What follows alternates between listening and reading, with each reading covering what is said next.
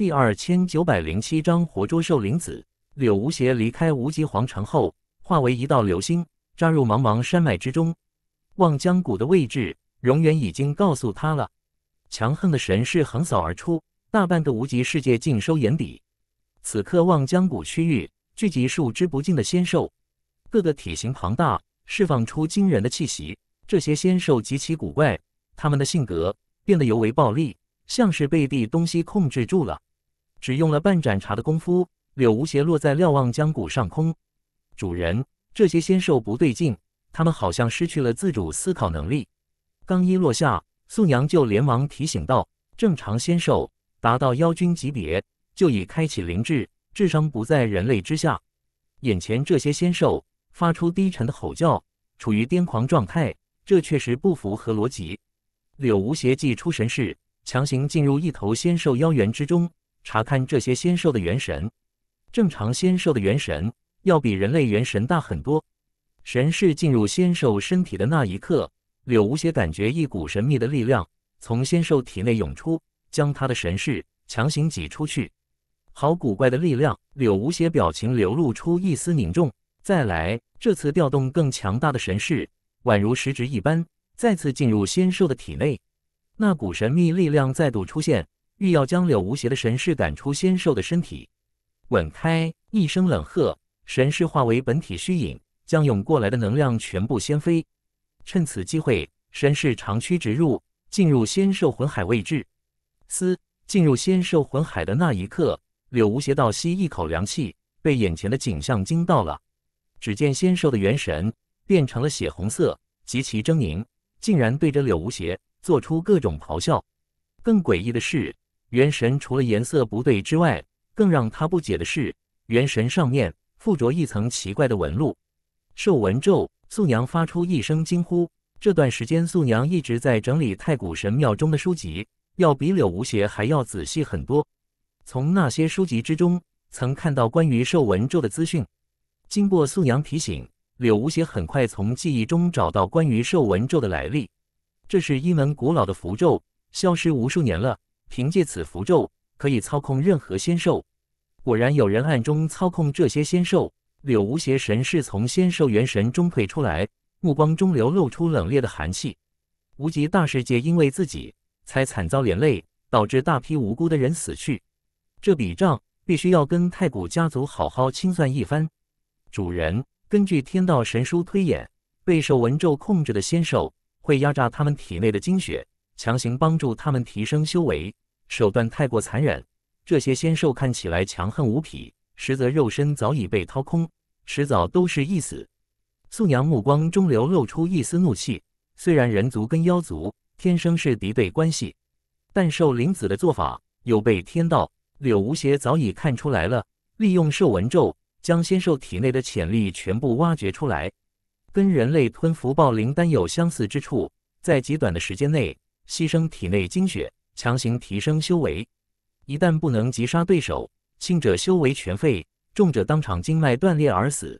难怪这些仙兽整体实力提升这么多，原来是兽纹咒的关系。兽灵子，我知道你在附近，滚出来吧！柳无邪一声厉喝，犹如炸雷一般，滚滚音浪传遍方圆十万里，纵然是无极皇城，都能听到柳无邪的声音。此刻，荣元。正率领无极皇室大批高手站在城墙之上，以防仙兽再次冲击。叠叠叠，你竟然知道兽纹咒，着实让我有些惊讶。一道刺骨的声音在山脉深处响起，忽左忽右，很难将其锁定。兽灵子看来还不知道柳无邪真实身份。前来之前，柳无邪利用禁制封锁了本来面目，以防身份泄露。柳无邪祭出神识，寻找兽灵子的下落，找了半天。四周除了大量仙兽之外，并无兽灵子的下落。好诡异的隐匿术！柳无邪是暗暗吃惊。他可是神血境，神识不知道比先帝强横多少倍，竟然连他都无法找出兽灵子的位置。难怪无极皇室拿兽灵子一点办法都没有，唯有斩杀兽灵子，才能化解兽潮之围。好好享受兽潮盛宴吧！一阵阵奇怪的笛声从四面八方袭来，听到笛声后。盘踞在望江谷中的仙兽，如同发了狂一般，疯狂地冲向柳无邪。无论是爬行仙兽还是飞行仙兽，他们铺天盖地，甚至不惜自爆，也要炸死柳无邪。轰轰轰！一阵阵恐怖的涟漪席卷四周，无极大世界正在剧烈晃动，大量的空间碎片从苍穹坠落。柳无邪眼眸阴沉的可怕，兽灵子的目的不仅要杀了自己，还要摧毁无极大世界。当年盛极一时的三千世界，如今完好保存下来的不过三分之一左右，大部分世界早已消失在历史长河。无极大世界因为地处偏远，而且与世无争。才完好的保留下来，找死！柳无邪一掌拍下，冲向自己的仙兽，全部炸开，化为一团血水。荣远与他有恩，自己怎么可能眼睁睁看着无极大世界毁于一旦？越来越多的仙兽选择自爆，一道巨型裂缝出现在苍穹之巅，无极大世界处于崩溃边缘了。许多仙兽境界本来在妖皇境，受到兽纹咒的影响，强行将他们提升到妖帝境。妖帝自爆，威力可想而知。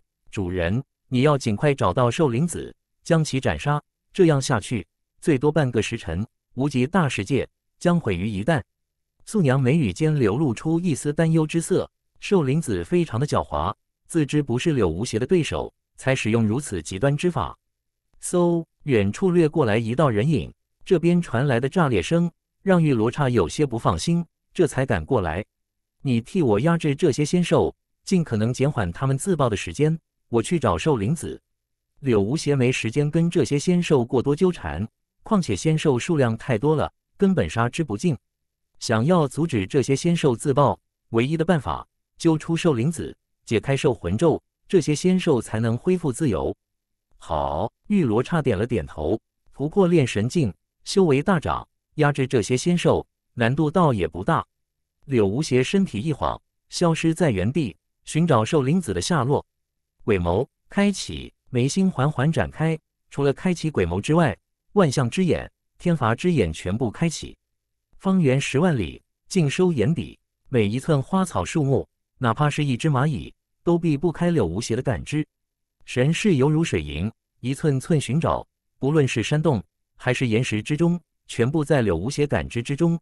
时间无声无息流逝，不知不觉斩查过去，依旧没有找到兽灵子的下落。就在柳无邪焦急万分之际，鬼眸突然跳动一下。我怎么就没想到，兽灵子可能并非人类，而是一头仙兽？柳无邪眼眸中闪过一丝明悟。永远只知道兽灵子，却不知道兽灵子到底是何方神圣。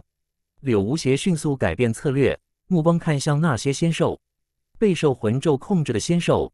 他们体内气息比较混乱，很容易发现。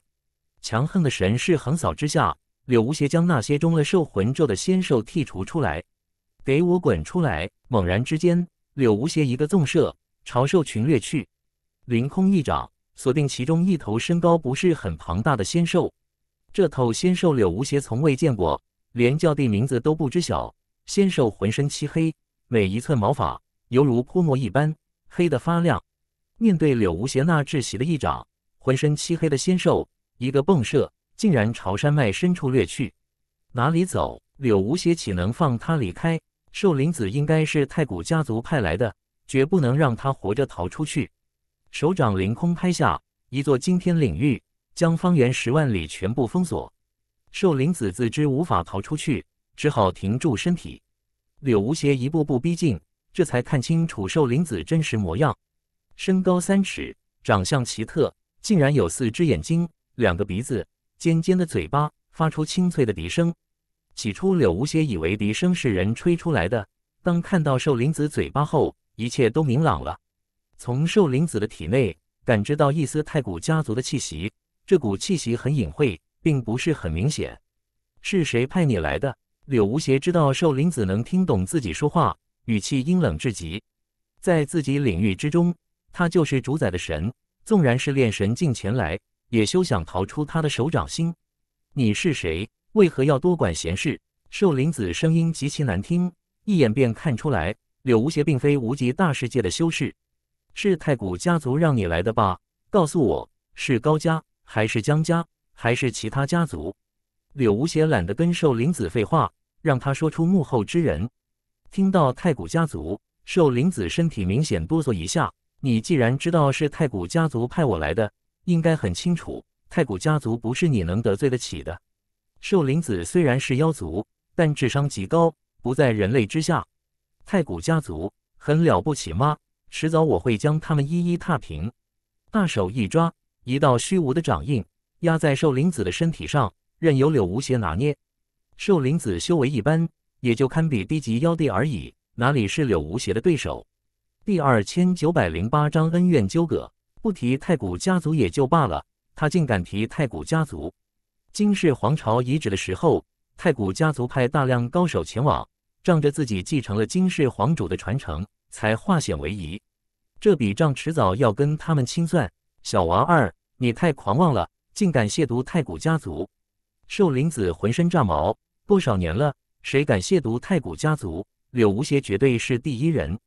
纵然是修炼到炼神第三境巅峰的天都大帝，对太古家族都保持敬畏之心，何况是刚跨入炼神的小毛头？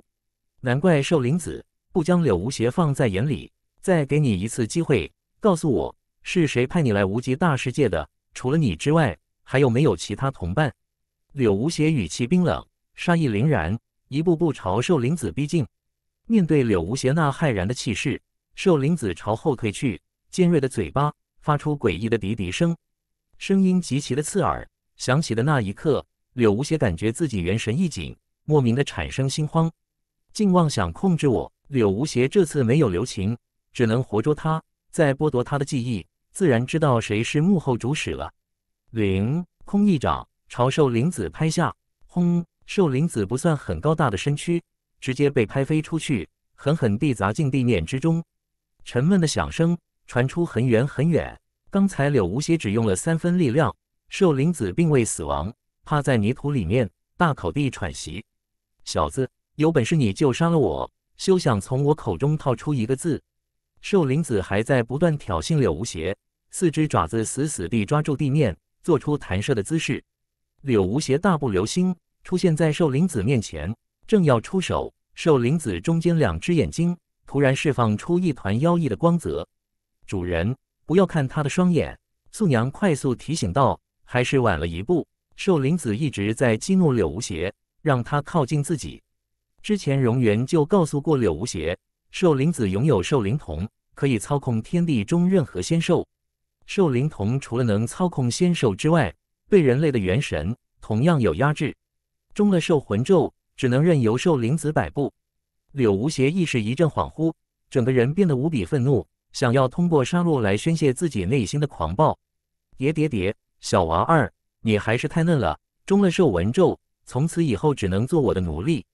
兽灵子发出肆无忌惮的笑声，前面两只蹄子竟然立起来，模仿人类走路。素娘十分焦急，却没有任何办法。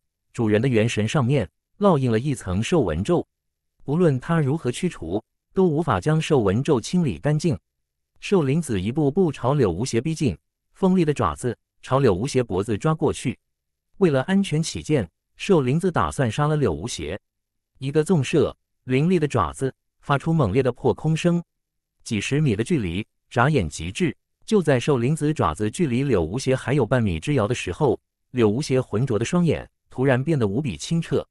这点东西就想控制我？柳无邪嘴角浮现一抹邪笑，右手突然前探，抓住兽灵子的脖子。将他提在掌心，不可能！你明明中了我的兽纹咒，怎么会安然无事？兽灵子拼了命的挣扎，柳无邪的右手就像是一道铁钳子，将他的脖子牢牢控制住，四肢在空中乱蹬，像是死狗一样被柳无邪提在手里。你的兽魂咒太低级了，应该是其他人传授给你的吧？柳无邪嘴角浮现一抹讥笑，他拥有两大元神，就算兽灵子控制一只元神。他还有第二只元神。为了搞清楚兽魂咒的原理，柳无邪故意让兽灵子出手。经过他一番查看，基本清楚了兽魂咒的原理，轻松将其破除。你，你到底是谁？怎么知道的如此清楚？兽灵子有些慌了，身体如同筛糠一样，不断地颤抖。既然你不肯说，那我只好搜刮你的记忆了。强横的魂力宛如一记镰刀，钻入兽灵子的魂海之中。大量的记忆涌入柳无邪的魂海，寿灵子发出凄厉的惨叫声，却没有任何办法。足足过去盏茶时间，寿灵子身体软绵绵地倒在柳无邪面前，竟然是崔家。柳无邪眉宇紧缩，他以为是高家或这江家他们派来的寿灵子，唯独没想到居然会是崔家。他跟崔家无冤无仇，当日跟崔青也并无发生冲突，崔家为何要覆灭无极大世界？难道仅仅是因为自己拒绝加入崔家，就给无极大世界招来杀身之祸？兽灵子极其罕见，拥有兽灵瞳的兽灵子更是万年难见。崔家为了培养这头兽灵子，没少花费心血。兽灵子一死，望江谷中那些仙兽顿时安静下来，全部趴在原地，大口地喘息。元神上的兽纹咒虽然消失了，但是他们榨干了体内的精血，修为正在不断下降。一些体型庞大的仙兽正在快速缩小。最近几百年，无极大世界的仙兽。很难对无极皇城形成实质性的威胁了。一座虚拟小世界，弄叉！一名白发老者将手中的杯子狠狠地摔在地面上。寿长老，发生的事情了！不少弟子连忙跑过来，朝这名白发老者问道。白发老者看似人类，体内竟然还拥有兽族血脉，尤其他的双臂上面布满着鳞片。兽灵子被人杀死了。白发长老一字一顿地说道。寿灵子是他一手辛辛苦苦培养出来，当做自己的孩子，居然被人杀死了。咦，听到寿灵子被人杀死，赶来的这些弟子一脸不敢置信之色。寿灵子可是妖帝境，加上寿纹咒，一般的仙帝境根本不是他的对手。更为重要，寿灵子可以操控仙兽，在极短的时间内提升仙兽的能力。纵然是巅峰仙帝，想要杀他也不容易。寿长老。是不是搞错了？寿灵子怎么会死？崔家一名管事走出来，朝寿长老询问道：“不会错，寿灵子已经死了，而且死前遭人搜刮魂魄。寿长老跟寿灵子心意相通，早就签订了灵魂契约。就在刚才，灵魂契约突然消失，只有死亡，灵魂契约才会失效。无极大世界那种鸟不拉屎的地方，谁有这么大的本事，能杀死寿灵子？”赶来的管事皱了皱眉，这次派遣兽灵子前往无极大世界，只有极少人知道。此事没那么简单，我需要亲自前往无极大世界一趟，查明真相。兽长老站起来，打算亲自前往无极大世界。说完，兽长老不顾管事的劝告，离开了须弥小世界，朝无极大世界赶去。快去通知家主！管事意识到事情不对劲，连忙派人去通知家主。对方能轻易斩杀兽灵子，绝非泛泛之辈，起码也是炼神级别强者。兽长老虽然修为不低，毕竟人生地不熟，很容易遭人暗算。随着天地大劫越来越近，受益最大的反而是这些太古家族，因为太古家族高手如云，尤其是仙帝境，数量远要比仙界超一流宗门多很多。你没事吧？见柳无邪在原地发呆，玉罗刹上前关心地问道。没事。柳无邪搜刮了兽灵子的记忆后，有种不好的预感。从兽灵子记忆中查到了关于崔家很多事情。这次崔家派寿林子前来，并非因为崔家跟他之间的恩怨，而是崔家想要统治无极大世界。之前他就怀疑高家跟江家在金氏皇朝损失惨重，根本没有多余的力量来对付无极大世界。没想到幕后黑手居然是崔家。着实让他有些棘手。崔家的整体实力绝非高家还有江家所能比拟，而且崔家在金氏皇朝中并没有地损失，他们的整体实力非常之强。自己倒是可以一走了之。无极大世界怎么办？无论怎么说，荣源关键时刻帮助过自己，与自己并肩作战，仅凭这份恩情，他就不能置于无极大世界而不顾。对手是不是很难缠？玉罗刹认识柳无邪也有一段时间了，岂能不知道柳无邪心里在想地？越说没事，证明事情越大。我们先回去。柳无邪不想让玉罗刹担心，有些事情跟他没关系，没必要将他也牵扯进来。两人风驰电掣回到无极皇城。刚才柳无邪大战的时候，造成极大的轰动，荣源已经率领大军准备迎战。就在刚才。盘踞在望江谷的那些仙兽，正在陆陆续续退去。一场兽潮危机因为柳无邪的到来而烟消云散。柳兄抓住兽灵子了吗？荣元上前小声问道。回去说，柳无邪有些疲惫，示意回去再说。得罪了高家、江家，已经让他焦头烂额，现在又多了一个崔家，倒不是惧怕崔家，反正太古家族基本得罪了一大半，多一个不多，少一个不少。主要他还有要事。在身，着急寻找英龙，没时间一直留在无极大世界。大殿中依旧只有他们三个。寿灵子是崔家派来的。直到这时候，柳无邪才说出寿灵子的来历。咦，荣元这些年没少前往仙界，也过去天都城，当然知道崔家。连坐在一旁的玉罗刹都蹙了蹙眉。当年父亲离开的时候，再三告诫他，所有太古家族之中，唯有崔家不可得罪。